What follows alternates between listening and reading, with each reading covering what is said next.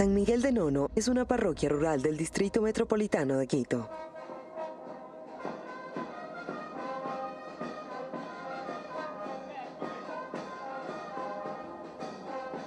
Está conformada por las comunidades de Alaspungo, Nonopungo, Pucará, Yanacocha, Alambi y La Sierra.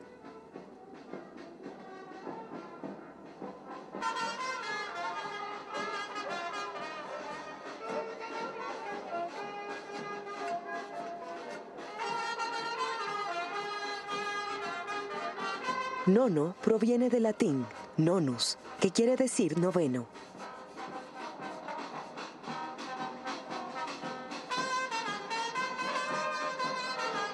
Fue el noveno pueblo fundado por los jesuitas en 1660 en el noroccidente de Quito. Desde entonces comenzaron a funcionar las haciendas.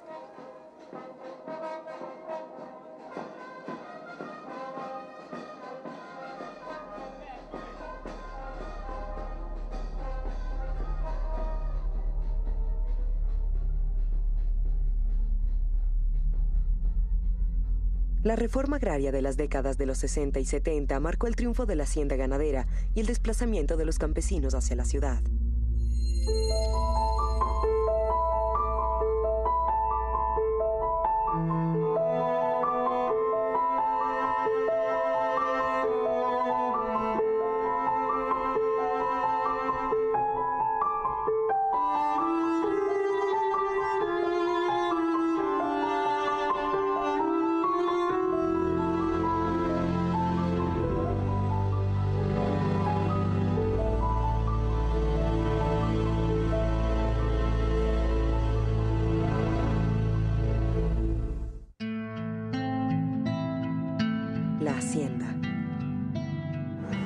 El dueño de la hacienda San Eloy había comprado, digamos, eh, esta hacienda porque él era, es, eh, era un coronel, donde que él eh, venía de una vez en cuando para acá a la hacienda, necesitaban cuidadores.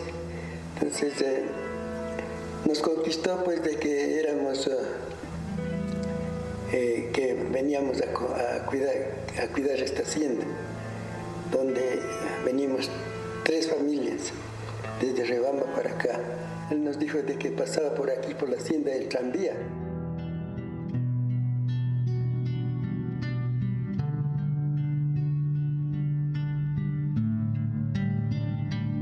La casa construida, como les digo, de hace muchísimos años.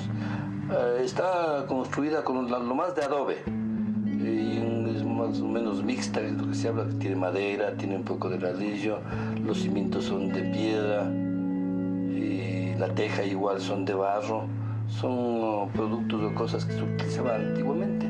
Pues de mis bisabuelos se llamaban el, eh, Pozo, eran de apellido Pozo, y mis abuelitos eran de apellido del Castillo.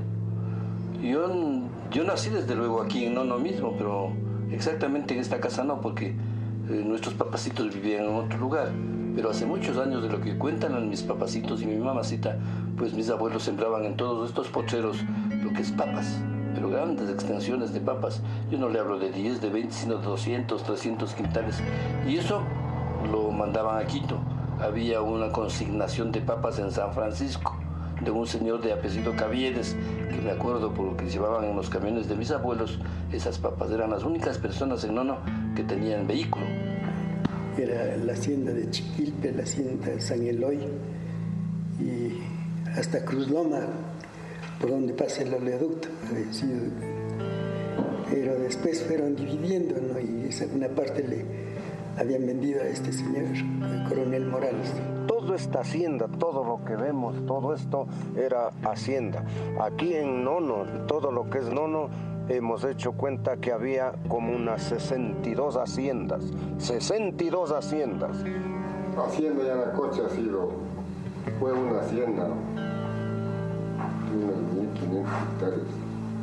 Con el pasar del tiempo, las leyes se han cambiado, todo se ha destruido, el dueño se fue al exterior, quedó estuvo hipotecado, donde le hicieron el mal manejo, todo, todo lo que había se acabó.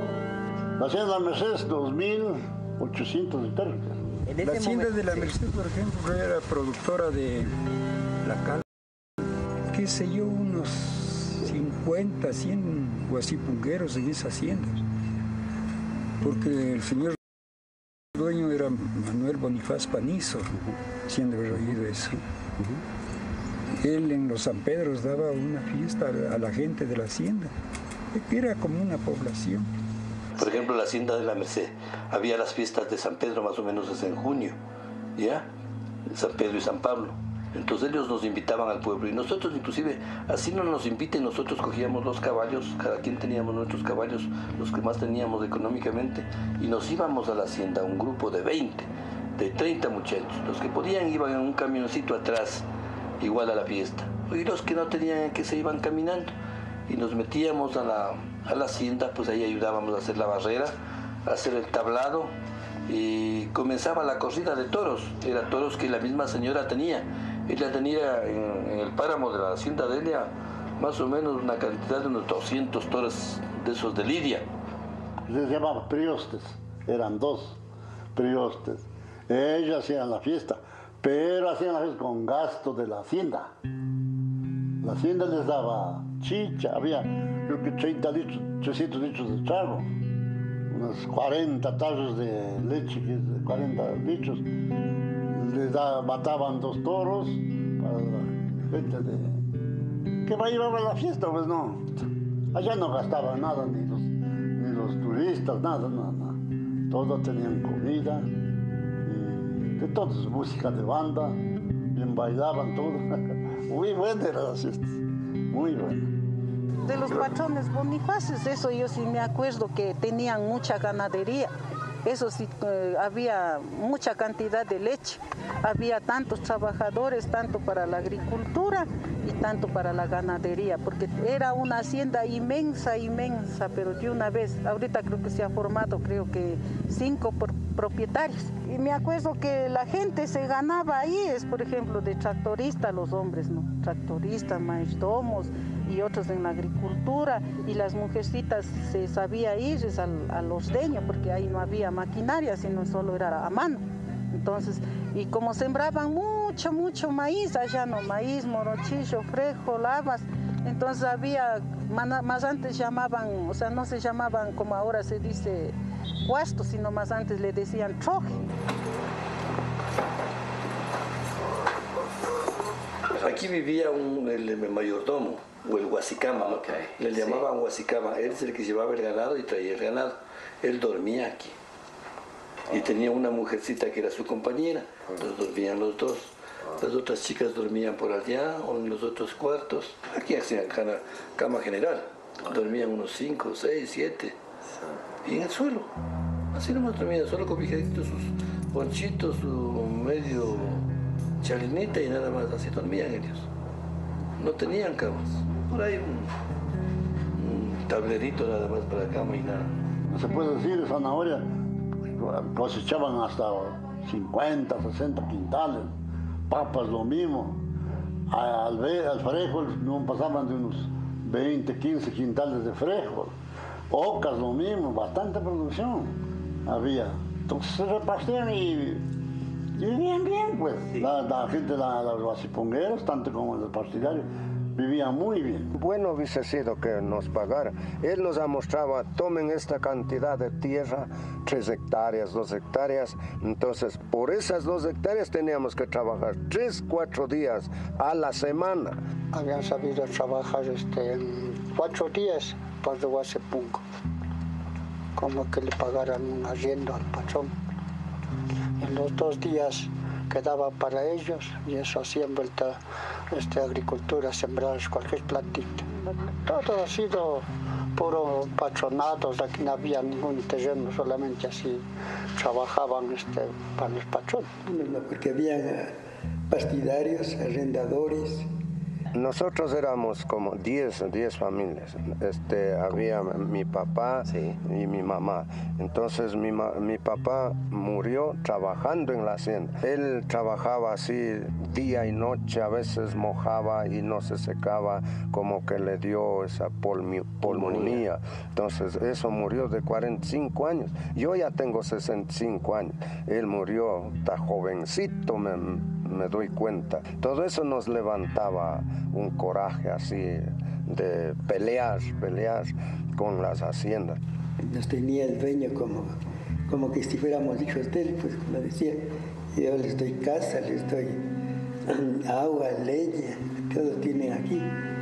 Suplido también, daba el suplido, pues, pero eso no, nunca se, se acababa, hacía sus cuentas y decía, todavía me deben todavía me deben o tomen tanto, pues y ya con eso tienen para, para vivir. De eso entonces eh, tuve que dedicarme ya aquí de ver que la gente ya no había donde eh, coger leña ni agua. Él dijo, Elías, te voy a dar una pistola para que no, no permita que entren acá a la hacienda a coger la leña, ni a coger agua, peor a, a tumbar un árbol. Nosotros nunca hemos cosechado las cosas para uno propio, por más que trabajábamos. De eso nos levantó una conciencia y iras. Y, en esos tiempos había eh, padres, este, Monseñor Leonidas Proaño. Yo caminé bastante con él sea, de comer sí había en la hacienda, pero lo que no teníamos es nunca hace un dinero para nosotros manejar. Siempre éramos, siempre debíamos, siempre debíamos. Y eso era el, el tino, como se llamaremos, de, los patrones. Nunca éramos libres, nunca solo debiendo. Yo me daba coraje decirle patrón, patrón. La reforma agraria en Nono el caso de la toma de la hacienda San Eloy.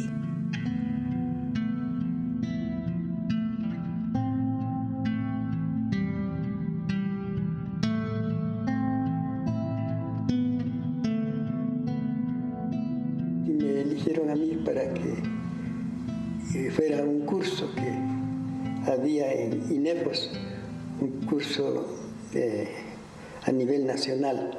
Había he obtenido pues, algunos conocimientos ¿no? ya sobre el nivel nacional, era el curso de cooperativismo. Ahí me di cuenta de lo que el Señor me estaba explotando. Entonces desde ahí yo ya, me cambié yo también ya de decisión. Dije, bueno, este Señor nos ha tenido aquí explotando, ni nos pagaba ni nada.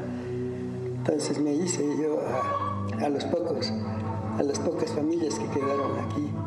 Ellos fueron los que se levantaron. El Emiliano con el papá hicieron cabeza, el papá ya no vivía, pero un grupo de los familiares de él, porque todos son familia de todos sobrinos, tíos, hermanos y todos los demás. Entonces ellos se levantaron en, la, en, la, en las misas, en la fiesta, ahí decidimos a tomar. Un día ya solo organizado, solo organizado, pero no teníamos tierra para trabajar. Entonces ahí lo que decidimos a tomar. Y, esa hacienda salió afectada a las pungos, se llamaba San Eloy la hacienda. Salió afectado porque ahí estaba el, el grueso de la gente. Nosotros nunca teníamos ni una capilla, de ahí salió la organización. Bueno, pues aquí esto vamos a hacer minga, limpiamos, acomodamos, trabajamos, hicimos un plano y comenzamos a hacer la capilla. Ahí vino y nos quiso quitar así, ahí ya vino con fuerza, de ahí ya, de ahí ya no hubo quien nos pare nunca. Ya cuando vine del curso, pues entonces yo les dije, bueno, tenemos que tratar de, de eh, separarnos del dueño. A nosotros ya no nos dio miedo, nada, nos decían comunistas, nos decían ladrones, porque nosotros sí nos unimos al ecuacionar y así avanzado a llegar adelante. En 1973 ya vino el profesor, el señor Abraham Flores. Entonces dice, organícense en comuna, ya le dimos a conocer la situación de, las personas que vivíamos aquí, que ellos le pueden ayudar organizarse y había sido con los eh, compañeros de Ecuarunari. Entonces, eh, ellos trajeron ya, vinieron a conocer la comunidad, estuvimos en la primera reunión y y nos dieron a conocer de que era necesario de que nos organicemos en común. Le Ecuarunari me dio beca que me vaya a Cuba. Pasé un año en Cuba. Hasta que ahí yo decía, mentira que comunismo. Más bien el comunismo es bueno, sabiéndole organizar. Se organizó la comuna y ya se legalizó por medio del Ministerio de Agricultura. Eh, hubo la propuesta de que nos venda un poco de de la hacienda. Entonces en ese tiempo un millón y medio de, de sucres que me paguen para venderles la, hacienda. Pero en ese tiempo no teníamos ni, ni mil sucres, peor cuánta plata. Yo casi morí en manos de Febres Cordero. A mí me acusaron de Alfaro Vive. Y cuando me cogieron, yo dije, yo soy más que Alfaro Vive. Yo lucho por camino, por escuela, por luz, por agua. Eso soy. Pero mis principios nunca he de dejar. Mis principios tienen que ser de lucha. Mis principios tienen que ser de, de trabajo, de solidaridad. Entonces Ahí empezó ya, nos fuimos a trabajar, a hacer el carbón adentro, donde el patrón no nos vea, porque mi papá sabía, como era el cuidador. Entonces fuimos adentro y hicimos el carbón. Con eso fuimos poco a poco recuperando nosotros, cogiendo dinero para, para comprarle la hacienda, para pagar. Nos metimos a la hacienda Ahí quedamos 15 días en la montaña adentro. Viva, viva el primero de marzo, viva el Ecuador. El dueño era, decía que tiene siete sobrinos abogados. Ustedes no me, no me igualan ni a la punta del zapato. Además del general Rodríguez Lara, es mi, mi subalterno. Ya nosotros empezamos también a poner cercas.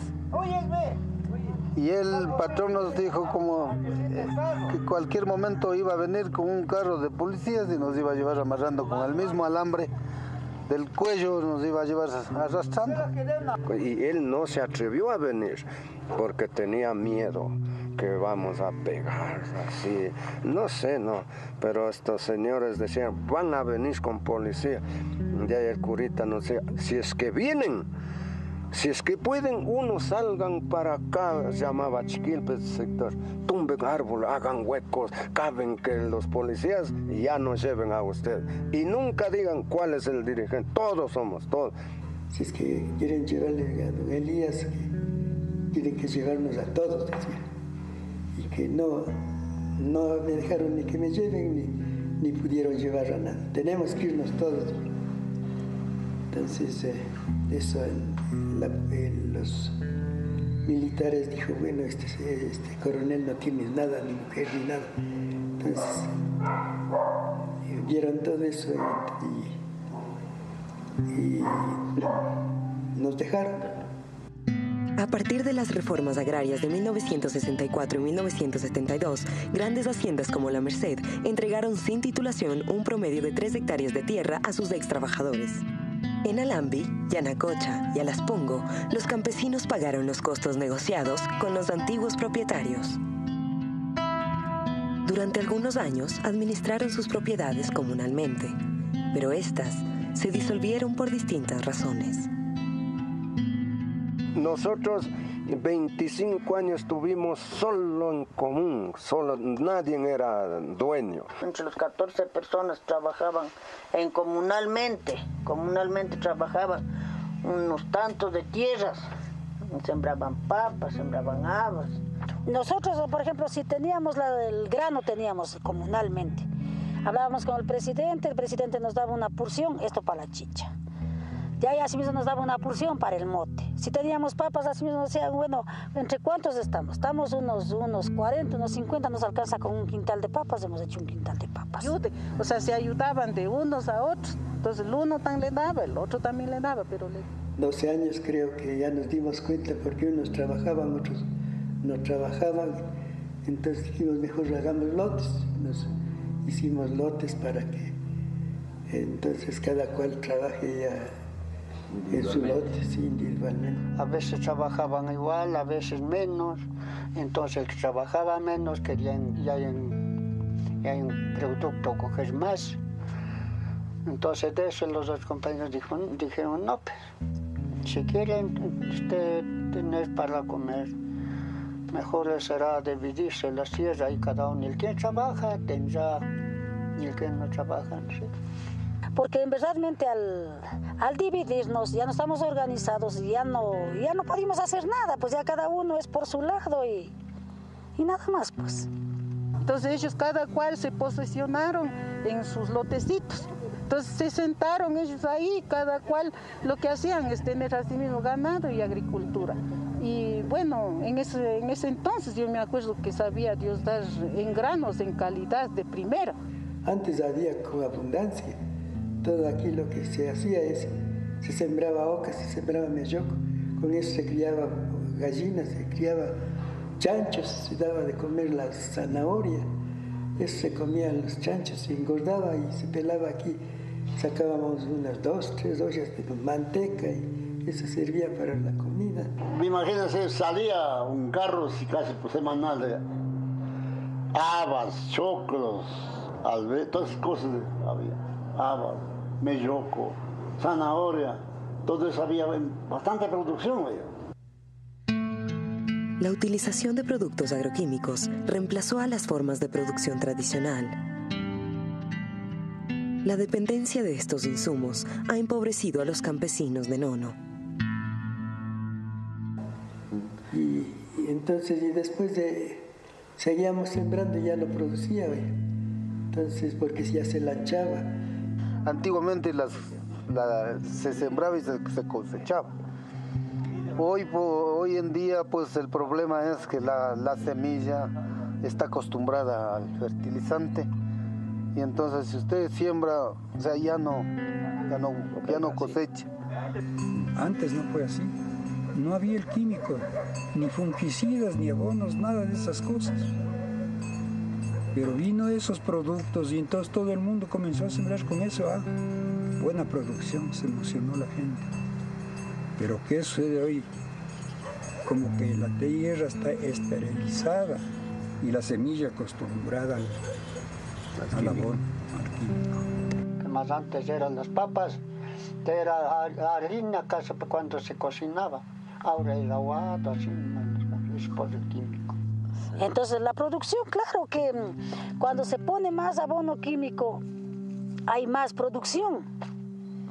Pero igual, pero si no se le funiga igual para la lancha, para todo eso, igual al mes, dos meses la papa ya no vale hermano para la tierra, pero ya era peor lo que en esto todas.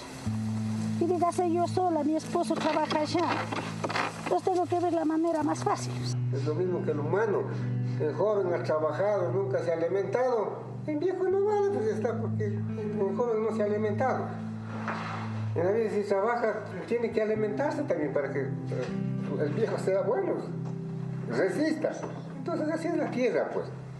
Entonces lo tiene que alimentar. Por la crisis agraria, Nono y sus comunidades se han especializado en la producción ganadera. Prácticamente Nono no, porque está ubicado, usted se ha de dar cuenta que está rodeado de haciendas. Entonces, al estar rodeado de haciendas, prácticamente la producción era pequeña. Hay haciendas grandes abajo en la Merced, donde ellos sí producen, pero son, que le de 30 hectáreas, de 25 hectáreas. Entonces, son producciones inmensas. En la parte de enfrente es la hacienda de San José. Ahí producían, por ejemplo, el brócoli. Es una producción fantástica, fenomenal.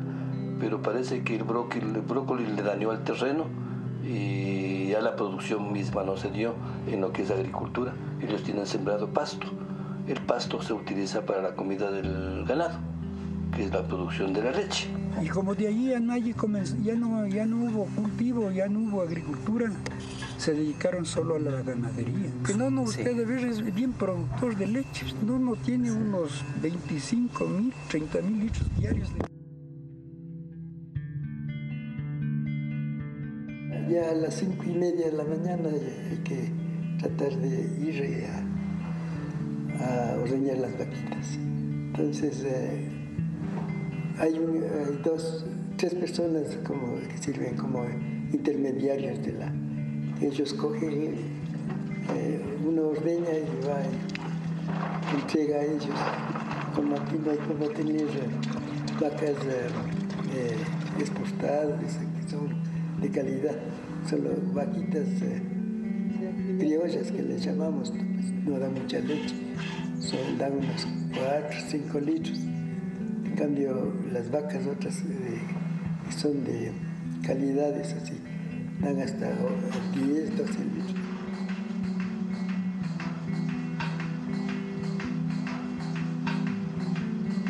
Sacamos una producción de 25 mil litros de leche diarios.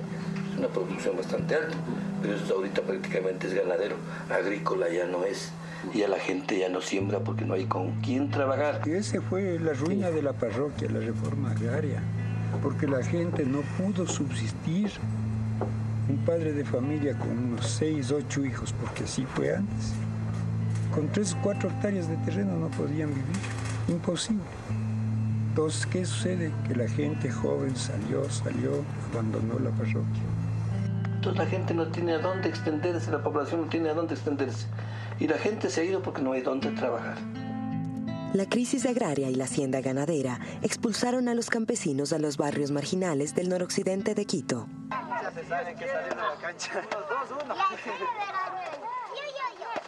Los hijos de los 14, todos los hijos, familias están por aquí toditos de los 14 socios que somos allá. Nosotros regresando todos, como se dice, juventud, con nietos, hijos, todos, somos unos 500 habitantes en Alembi.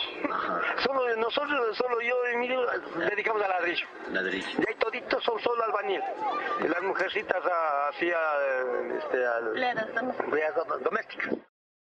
De familia sí son acá. Porque si dejaran ellos de hacer los ladrillos no hubiera para hacer las casas. No hubiera trabajo para mi marido. Todos somos albañiles. Sí, solo acá se abastece para darle trabajo a todos estos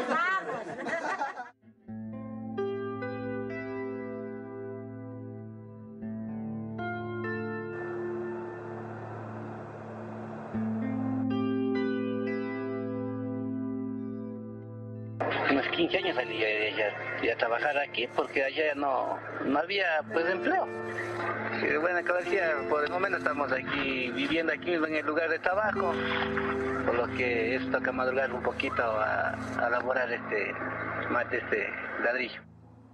Llamo Aida Yayipo y sinceramente me casé muy joven también y y vive un tiempo allá, igual, o sea, salimos con mi esposa igual por, por el trabajo, o sea, porque no hay allá fuentes de trabajo. Y yo igual me dedico a trabajar al diario con mi papi. Mi esposo se dedica a la albañilería. Aquí se, se pasa barro, se bota tierra, se almacena. Igual toca meter al horno, después vuelta a tocar sacar. o sea, es diferentes labores. Entonces, igual, como decía mi papi, igual, o sea, salí ya pensando en mis hijos también. Por no dejar allá el campo, les envié a mis eh, tres hijitos, les envié para acá diciendo que yo ya voy a salir. Les envié, les dice perder, a mi hija dice perder del colegio, no estudió bien y yo no pude salir así mismo allá como trabajaban allá. 48. 48 más 6. 79. Ya, sea, como se dice allá, no hay una buena educación para, para el futuro de ellos mismos. O sea, no tenemos una buena educación allá.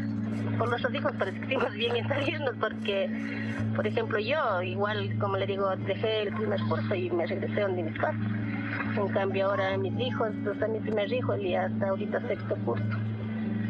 En esa parte. Yo me, siento, como le digo, hasta, a veces no me arrepiento de haberme salido porque mis hijos siguen el futuro para ellos. Bueno, yo, o sea, en, mi, en mi sentir como madre, o sea, yo quiero que él ya no trabaje como, como yo, al, menos el, mi trabajo es duro.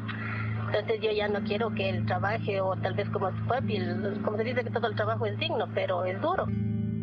No, no, es la parroquia más pobre y despoblada de Quito.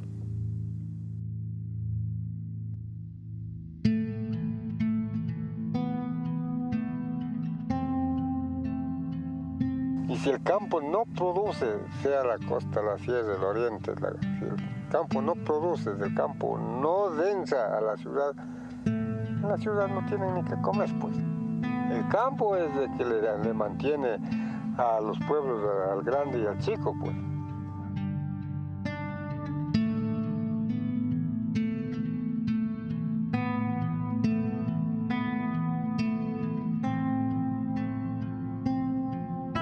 Y los campos están botados.